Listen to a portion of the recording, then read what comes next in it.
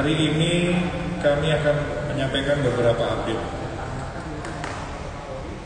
Yang pertama adalah update terkait gangguan Kamtipmas tanggal 7 April tahun 2022. Secara umum, tren gangguan Kamtipmas mengalami kenaikan sebanyak 36 kasus atau 3,5 persen yaitu pada hari Rabu tanggal 6 April 2022 sebanyak 1179 kejadian atau kasus. Sedangkan hari Kamis tanggal 7 April 2022 itu ada sebanyak 1215 uh, kejadian.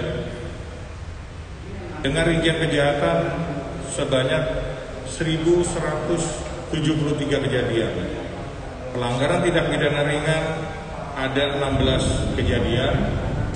Kemudian bencana ada 4 eh, kejadian.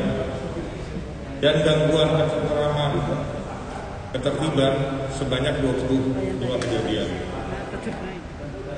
Kemudian untuk tren kejahatan secara kuantitas mengalami kenaikan sebanyak 17 kasus atau 1,47 eh, persen yaitu pada hari Rabu tanggal 6 April 2022 ada 1156 kasus.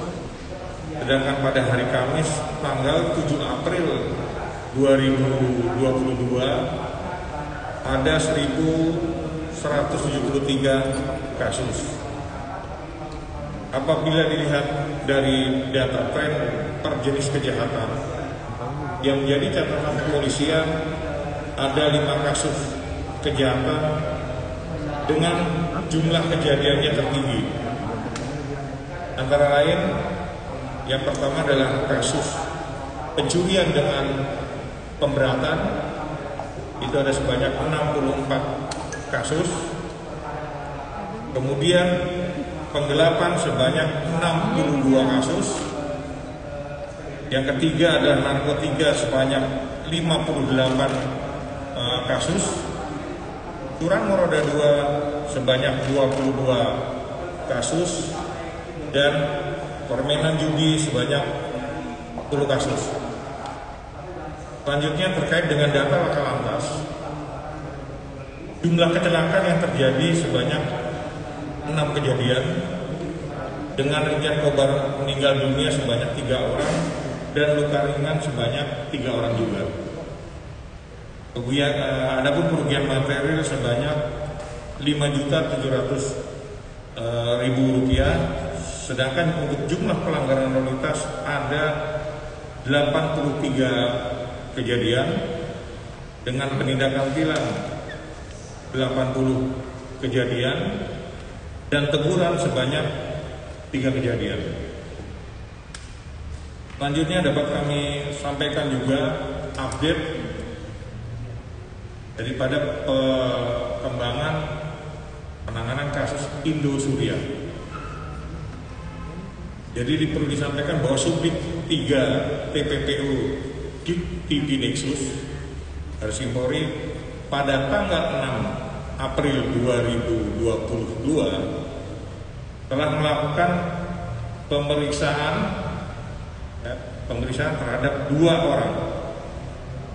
Yang pertama adalah BAP saksi atas nama inisial T mewakili istrinya selaku korban Indosuria dengan total kerugian 6 miliar rupiah.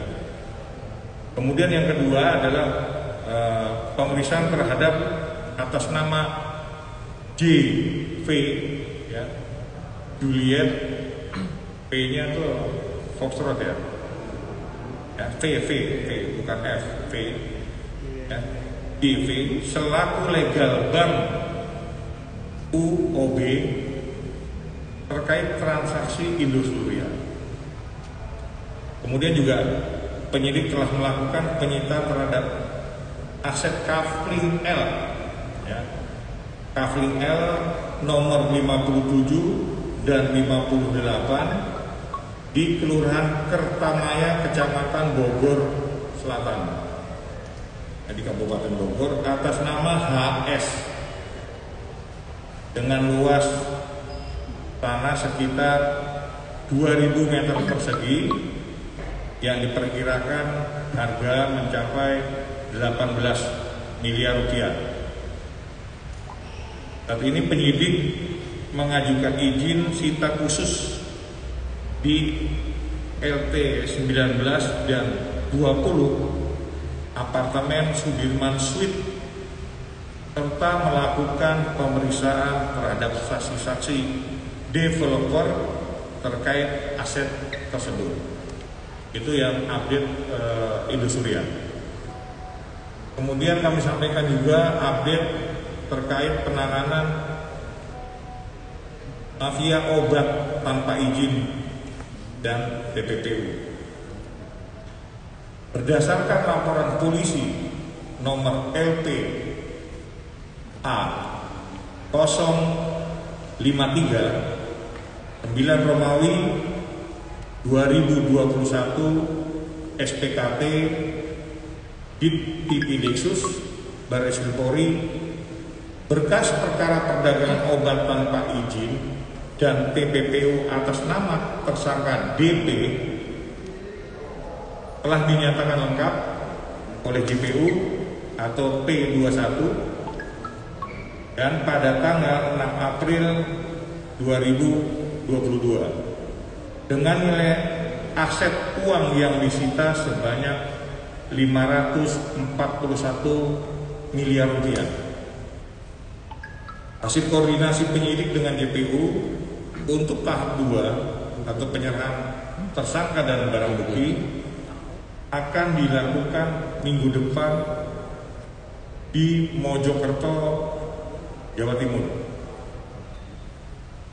Dapat disampaikan bahwa DP menjalankan bisnis peredaran obat secara ilegal tanpa didasari keahlian di bidang farmasi dan tidak memiliki perusahaan tertentu yang bergerak di bidang farmasi. Dalam prosesnya, BP mendatangkan obat-obatan dari luar negeri yang dijual tanpa izin edar dari BPOM hingga menyebabkan adanya korban meninggal dunia. Selanjutnya kami sampaikan kembali update terkait kasus binomo. Perlu disampaikan kepada uh, teman-teman media bahwa berkas perkara saudara Ika sudah dilimpahkan ke JPU pada tanggal 6 April 2022. Selanjutnya kami sampaikan update terkait kasus Pilar Blas. Jadi penyidik sudah melakukan pemanggilan terhadap manajer salah satu klub sepak bola. Namun ya dari pihak manajer meminta jadwal ulang untuk dilakukan pemeriksaan kepada penyidik dan saat ini sedang dijadwalkan oleh penyidik untuk proses pemeriksaannya ke depan. Demikian yang bisa kami sampaikan untuk update hari ini. Terima kasih teman-teman semua. Uh, wassalamualaikum warahmatullahi wabarakatuh. Om Santi Santi Santi. kita aja kan baru Pak saya sama saya sampaikan. Itu tapi akan itu dari tadi ini kita nyampaikan nanti ini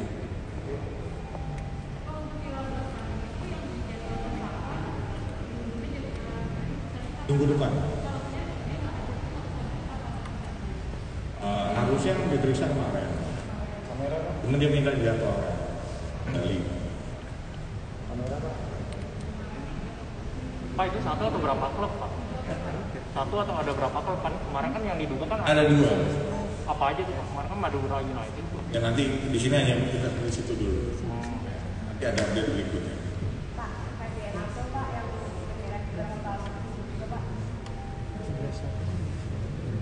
Jadi yang DNA Pro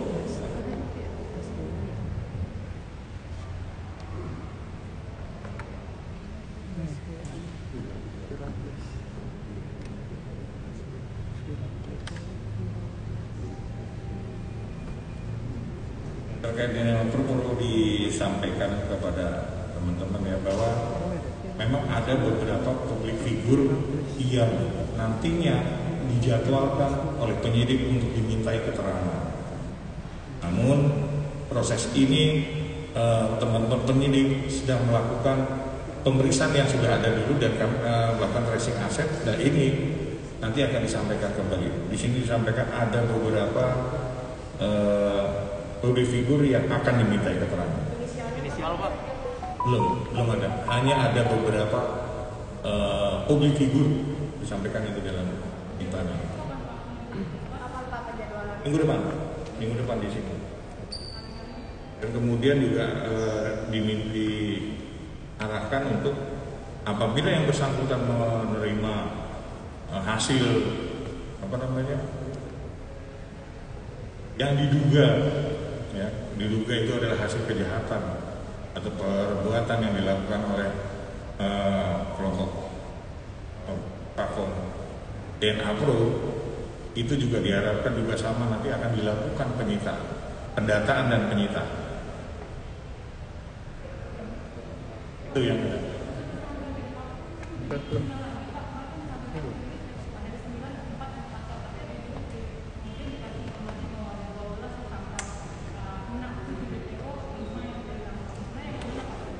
Jadi yang terkait DNA Pro kemarin sudah disampaikan oleh Pak Karo. Itu ada 12 ya. 12 eh, yang menjadi kelompok tersangka, kategori tersangka. 7 masuk kategori DPO ya.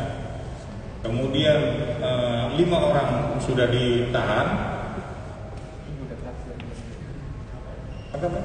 12. Lima orang sudah penahanan. Nah ini juga masih dilakukan pendalaman dan pengembangan terus oleh eh, teman-teman penyidik.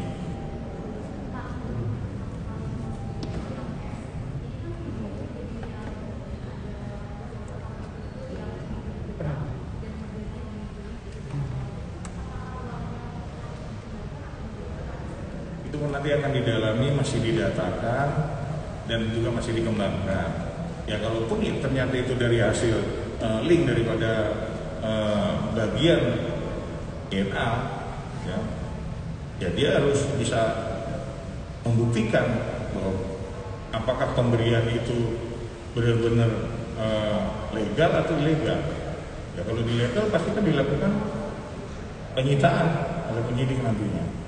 Ya. Tapi nanti kita lihat eh, update-nya dari teman-teman penyidik. Sejauh berapa public figure Pak? Ada berapa public figure yang belum disampaikan sama penyidik. Hanya penyidik menyampaikan di grup bahwa nanti akan ada beberapa public figure yang dilakukan eh, pemeriksaan. Betul. Oke, itu aja. Terima kasih.